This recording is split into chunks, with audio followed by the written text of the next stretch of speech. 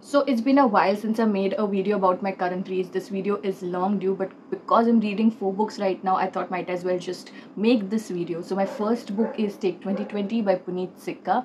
Now this book exposes the dark underbelly of Bollywood. Puneet Sikka is a media professional, and in this book she speaks about the lives of strugglers and the Me Too movement and much more. I have only just begun, but the narrative is humorous and is penned with unflinching honesty, and it is sure riveting.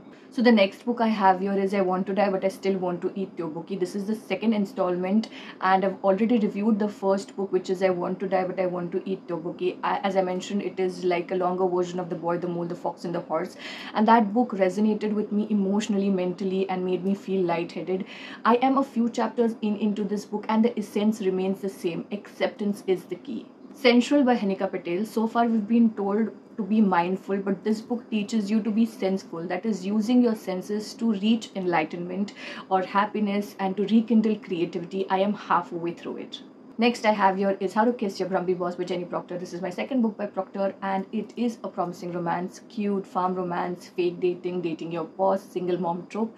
Mushy romance is what I need from time to time, so this is it.